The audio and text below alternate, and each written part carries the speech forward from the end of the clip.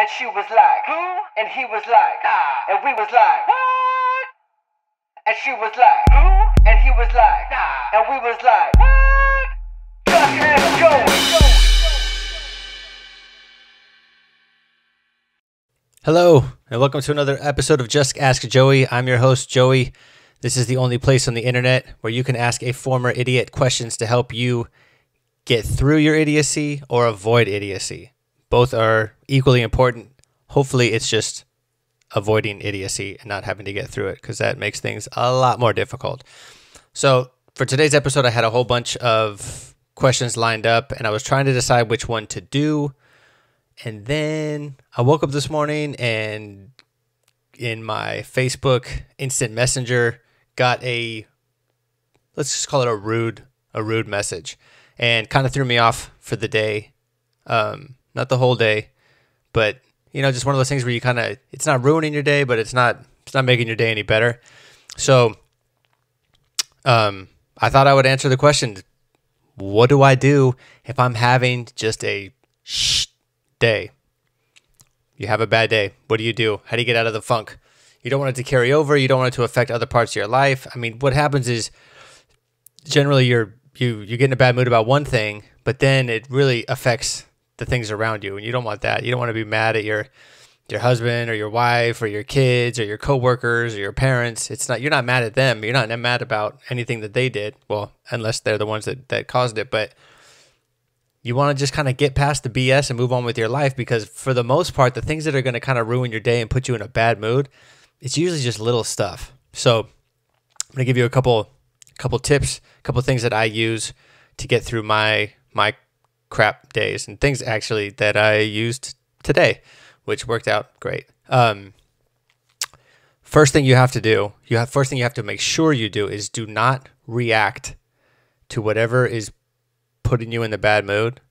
Do not react while you're still in a bad mood or while you're angry because you're going to let your emotions um, take control of the situation instead of your mind. And you will probably make your put yourself into a worse situation if you react to anything while you're angry. So if you have any big decisions that come up if you're you know if you can deal with this person if this is a person that puts you in a bad mood face to face just walk away. Just get away from from having to make a decision or reacting while you're in a bad mood. Wait until you're calm. Wait until you're level headed that's the most important thing. That's not going to help you get over whatever's putting you in a bad mood, but it at least help you get um, not make your not make the situation any worse.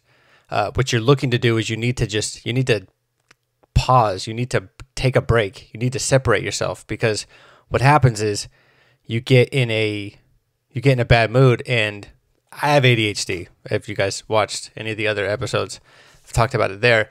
Um, so when stuff gets in my head, and this may be an ADHD thing, this may be an everything, everybody thing. But when you get in a bad mood, for me, when you get in, when you get something in your in your head that's that's frustrating or irritating, it's just on your freaking mind, and you just need a break from that. So we want healthy escapes, not. I'm not gonna say, "Hey, you're in a bad mood today. Go get high." Hey, you're in a bad mood today. Go get drunk. That's not gonna solve anything. That's just gonna ignore it. And we're not about ignoring problems here at all. We're about hitting those problems head on. Now, when we deal with those problems, when we're not angry and we're not fired up and not all emotional, that's when you handle the situation. So don't respond, don't react while you're angry.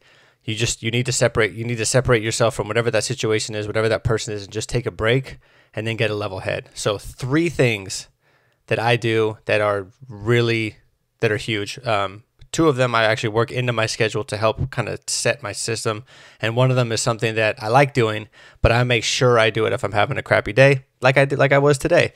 So uh, the first thing I do is I is work out. I um I run a couple days a week and I lift lift weights six days a week, and then take a break on Sundays just because of church and family stuff and all that. Stuff. It just takes up too much time.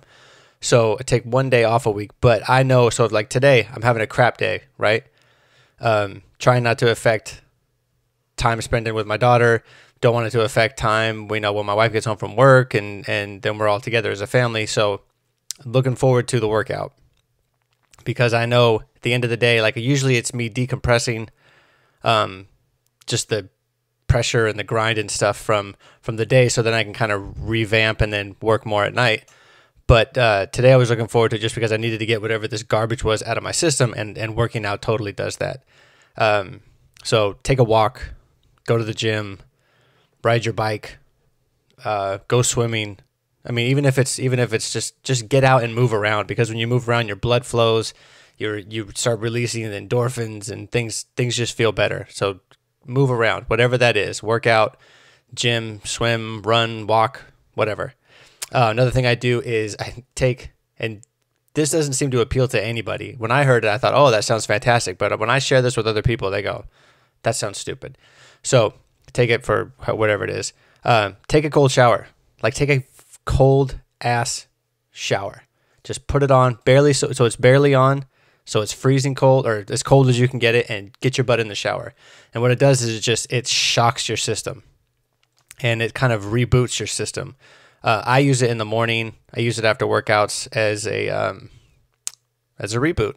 And you could do the same thing with your with your emotions because really you just have to. It's that it's that switch. So you know you're on. You're you're irritated. You're feeling this whatever. You're mad. You're you're pissed off. You're angry. You're sad. You're depressed. Whatever you are, and then you jump in the shower and it shocks your system.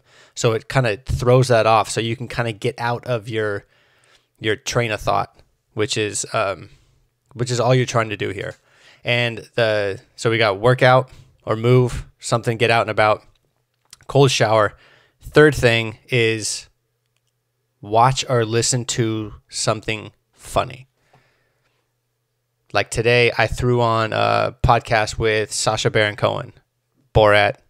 Um, for those of you that don't know, Borat, Ali G, uh, Bruno. In case you don't know, his real name is Sacha Baron Cohen. He's funny as hell, and he goes through the he just doing an interview, just a normal interview on a podcast. Super funny. Um, I think it was I think he was on the Mark Mark Maron podcast, and it's funny. So I'm sitting there, and because I'm laughing with him and picturing the movies that he's in and talking about these funny scenes, and he's hilarious and he's smart and he's and he's and he's uh can take really he's really good storyteller. He can take you to to the situation and, and really you know so you can grasp it and you start laughing and you start releasing endorphins and you start feeling better and that's that's your break. Um, other people that I you know I'll go throw on Netflix and throw on uh, Louis C.K. Um, who's a who's a guy I just listened to Tom Segura, super funny. Um, YouTube is amazing. Like go go to YouTube and search uh, Bill Burr. Go to YouTube and search um, Greg Giraldo roast. If you guys don't know who Greg Giraldo is, man, he's like the king of of roasting. Him and Jeff Ross are, are hilarious. And just find either a, a super funny ass movie, find a funny person doing an interview, or or even better yet, find stand up because it'll be funny the whole way through. And I I promise you, after you sit through an hour of Louis C.K., after you sit through an hour of Bill Burr, Chris Rock, uh, Kevin Hart, you sit through an hour of, of comedy and laughing.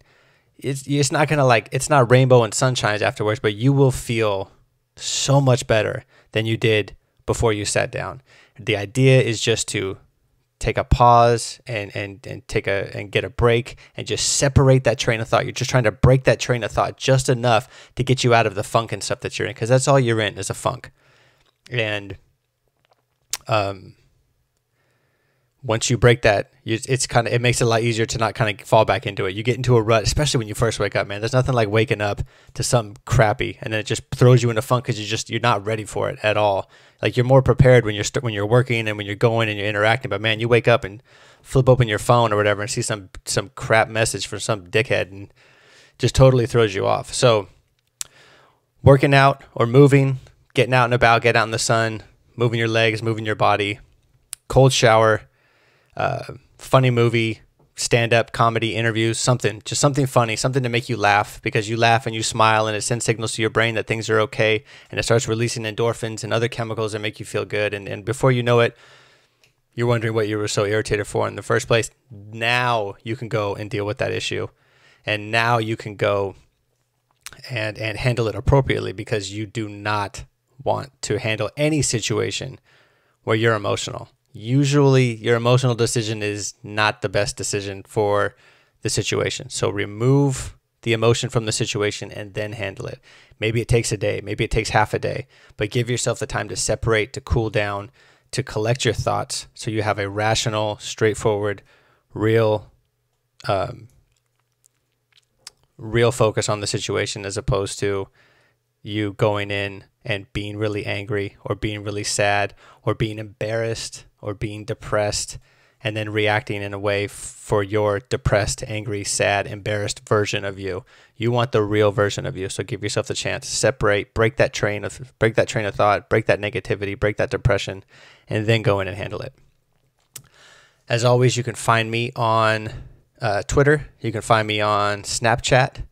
It's Snapchat seems to be the the best way to get a hold of me. That seems to be how most people are are contacting me. And again, if you have any questions about any of these episodes, whether you're listening on YouTube or you're watching, you know, you're listening on, on iTunes or SoundCloud, if you have questions on anything you've heard or anything um, you need clarity on or, or deeper questions or anything, just shoot me a Snapchat, DM me, whatever. I'm, I'm, uh, I love answering questions and I love, I love helping, helping people out, either get, either avoiding your idiocy or getting past your idiocy. But both are really important, and and that's what this is all about. So, hope you guys have a great weekend, and I will see you soon. Bye. And she was like, and he was like, nah, and we was like, what?